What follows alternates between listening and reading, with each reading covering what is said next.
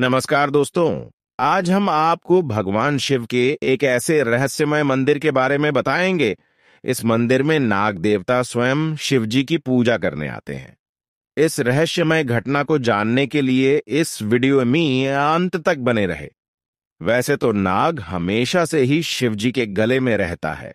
नागों को शिव जी से जोड़कर देखा जाता है। भगवान शिव के साथ नाग की भी पूजा की जाती है।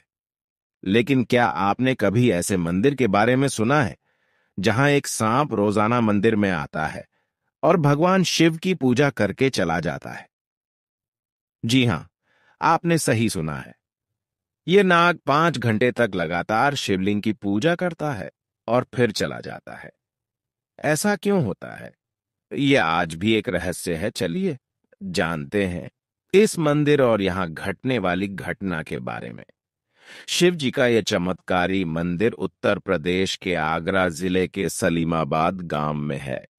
यह प्राचीन शिव मंदिर है, जहाँ कई सालों से लगातार नाग पूजा करने आता है। पहले मंदिर में कोई पुजारी नहीं हुआ करता था, लेकिन जब ऐसा देखा गया तो भक्त भी वहाँ जाने लगे और इस चमत्कार को देखकर हैरान रह गए। ये नाग रोज सुबह दस बजे आता है। और यह उसका तय समय है, वह कभी लेट नहीं होता। मंदिर में आने के बाद वह मंदिर में पाँच घंटे रहता है।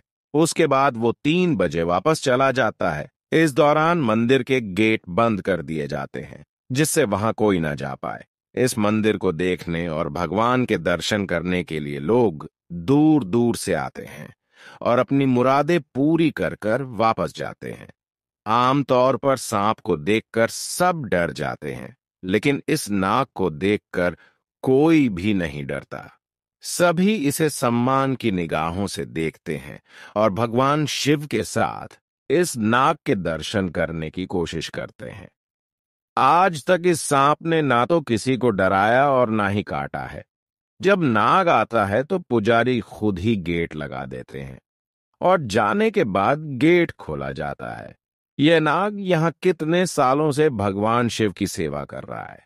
इस बात की जानकारी किसी को नहीं है, लेकिन कहा जाता है पिछले बीस सालों से जब से लोग यहाँ आने लगे हैं, तभी से वो इस मंदिर में नाग को देख रहे हैं, जो कि भगवान शिव की पूजा करता है। मंदिर में नाग भगवान शिव के चारों तरफ़ लिपटा रहता है और पूजा करता है। ये अपने आप में एक अद्भुत चमत्कार है। जो हर किसी को देखने को नहीं मिलता है।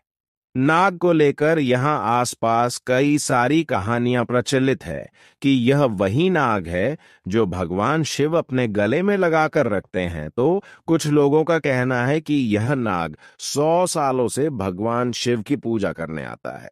लेकिन आज तक कोई नहीं जान सका कि ऐसा क्यों होता है कि एक नाग मंदिर में भगवान शिव की पूजा करने आता है और वह भी तय समय पर। आप भी इस मंदिर के दर्शन ज़रूर कीजिएगा और चमत्कार को भी देखिएगा। अगर आप भी भोले बाबा के सच्चे भक्त हैं तो कमेंट बॉक्स में ओम नम शिवाय ज़रूर लिखें और हमारे चैनल को सब्सक्राइब ज़रूर करें।